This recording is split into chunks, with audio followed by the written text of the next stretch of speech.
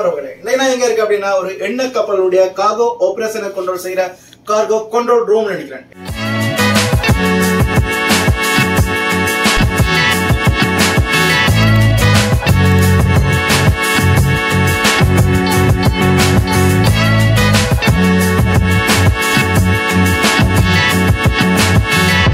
நினைக்கிறேன். என்னத்தை பார்த்து பார்க்க போறோம்? ஒரு கப்பல்ல எப்படி நாங்க எண்ணெய்களை லோட் செய்யறோம்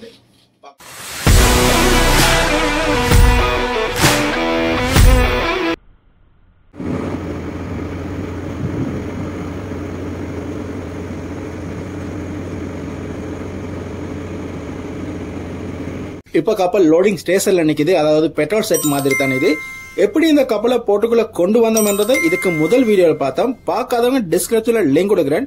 இந்த வீடியோ பார்த்துட்டு அதையும் போயிட்டு பார்த்து என்ஜாய் பண்ணுங்க. ஒரு கப்பல் ஒரு போர்ட்டுக்குள்ள வந்துச்சுன்னா போர்ட் கண்ட்ரோல்ல பொறுப்பா இருக்கிறவங்க வந்து கப்பலுடைய சேஃப்டி செக்யூரிட்டி மத்த மத்த டாக்குமெண்ட்ஸ் எல்லாம் சரி பார்த்து எல்லாம் கிளியரண்டா தான் ஆபரேஷனையே ஆரம்பிக்க அனுமதி கொடுப்பாங்க. எங்களோட கப்பல்ல வந்து எல்லாமே வந்து சரியா இருந்தனாடி காகோ ஆபரேஷனுக்கு அனுமதியை கொடுத்துட்டாங்க. ஆரம்பிக்கத்தான் இருக்கு. ஆரம்பிக்கலாமா? இதுதான் கப்பலுடைய முன்பகுதி இந்த மேல்தளத்தை நாங்க ஷிப் டெக் என்று சொல்றது. இந்த ஷிப் டெக்குக்கு கீழ்ப்பகுதியில தான் எண்ணெய்களை நிரப்புற டேங்குகள் இருக்கும். இந்த கப்பல்ல மொத்தம் பத்து டேங்க்ஸ் இருக்குது. ஆறாயிரத்தி ஐநூறு மெட்ரிக் டன் வரைக்கும் கொண்டு போகலாம். அதாவது அறுபத்தஞ்சு லட்சம் லிட்டர்ஸ் கச்சா எண்ணெய்களை ஒரு நேரத்துல கொண்டு போக முடியும். இப்ப எங்களுடைய கப்பலுக்கு போர்ட்ல இருந்து காகோக்குள்ள லோடிங் செய்யறதா எங்களோட காகோ ஆபரேஷன் எங்களோட டெக் குரு போர்ட்ல இருந்து லோடிங் ஆகாம கப்பலுடைய மணிஃபோல்டோட பூட்ட ஆரம்பிச்சாங்க.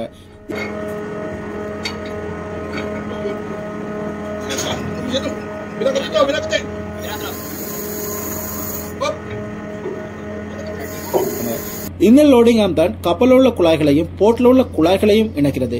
இதன் மூலமா தான் நாங்க எண்ணெய்களை கப்பலுக்கு எடுக்க போறோம். எப்படின்னா காகோபம் ஸ்டார்ட் செஞ்சு இந்த பெரிய டேங்க்ல இருக்கிற கச்சா எண்ணெய்களை இந்த குழாய்கள் மூலமாக வந்து லோடிங் ஆம் மூலமா வந்து கப்பலில் உள்ள டேங்குகள்ல நிரப்புறோம். எப்பவுமே ரெண்டு ரெண்டு டேங்கை தான் நிரப்புறது. என்ன கப்பலை எப்பவுமே பேலன்ஸா வச்சிருக்கணும். அதனாலேயே இந்த பக்கத்துல ஒரு டேங்கும் இந்த பக்கத்துல ஒரு டேங்கையும் ஈக்குவலா தான் நாங்க நிரப்ப போறோம். எங்கட பம்மன் இருக்காரு அவர் தான் இந்த லைன் அப் வேலைகளை செய்வாரு.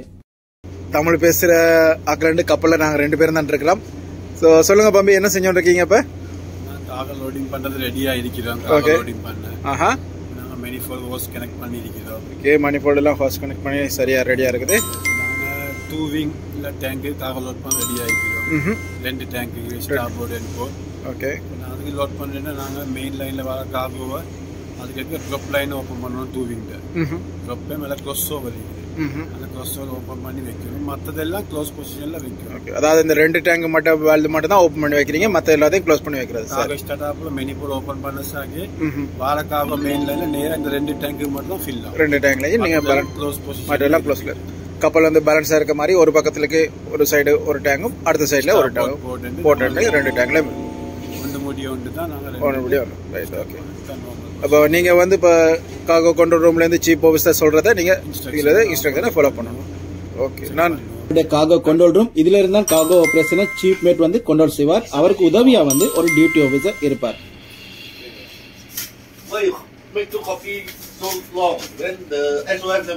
Ah, you want also? இதுல முக்கியமானதுல மட்டும் சொல்லிடுறேன். காகோ டேங்க்ஸுடைய டெம்பரேச்சர் சென்சார் அதாவது பத்து டேங்க் இருக்கும் பத்து டேங்குடைய டெம்பரேச்சர்ஸை வந்து நாங்க இதுல இருந்தே பார்த்துக் கொள்ளலாம் இது டேங்குடைய சேஃப் லோடுன்னு சொல்றது. அதாவது ஒரு டேங்கில் வந்து மேக்ஸிமம் வந்து 98% எயிட் பர்சன்டேஜ் வரைக்கும் லோட் பண்ண முடியும். 95% ஃபைவ் பர்சன்ட் வந்தோடனே எல்லாம் இண்டிகேட்டர் ஆயிரும். நாங்கள் லோட் பண்ணுறதை நாங்கள் நிப்பாட்டிடுவோம். இது காகோ பம்ப் பலாஸ் பம்புடைய பிரஸ் இண்டிகேட்டர்ஸும் ஆப்ரேட்டிங் சுவிச்சஸும் சீப் மேட் காகோ கால்குலேஷன் செய்வாரு. இன்னும் ஒரு முக்கியமான விஷயம் இந்த கலினோமீட்டர் கப்பலினுடைய பேலன்ஸை வந்து இதுல தான் நாங்க பாக்குறது எந்த பக்கம் கப்பல் வந்து பாரமா இருக்குது பாரம் குறைவா இருக்குன்ற பார்த்து அதுக்கேற்ற மாதிரி பலாஸ் டேங்கர்ல வந்து நாங்க சீ வாட்டரை ஃபில் பண்றது டிஸ்சார்ஜ் பண்ணி கப்பலை வந்து எப்பவுமே பேலன்ஸா மெயின்டைன் பண்றது.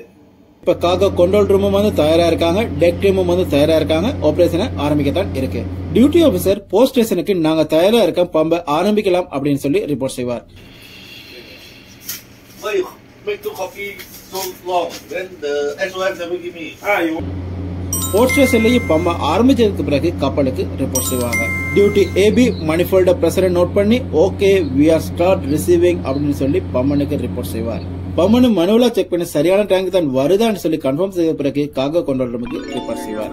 சீப் மேட்டும் எல்லாம் சரியா நடக்குதுண்டா பம்மின் ரேட்டை கூட்டி வேகமாக எடுக்க ஆரம்பிக்கணும் டியூட்டி ஹெவி ஃபயர் ரவுண்ட் செய்வார். அதாவது எங்கேயாவது லீக் இருக்குதா? எல்லாம் சரியா நடக்குதா? அப்படின்னு சொல்லி பார்த்துக்கொண்டே இருப்பார். பம்மன் முப்பது நிமிடத்துக்கு ஒரு தடவை டேங்கோடைய லெவலை சரியா பார்த்து சீப் மேட்டுக்கு ரிப்போர்ட் செய்வார். சீப் மேட் அதை கல்குலேட் செஞ்சு கொண்டே இருப்பார். அதே நேரத்துல கப்பலை எப்பவுமே பேலன்ஸா வச்சுக்கொள்றதுக்காக பலா சிஸ்டத்தையும் கவனிச்சு கொண்டு இருப்பாங்க.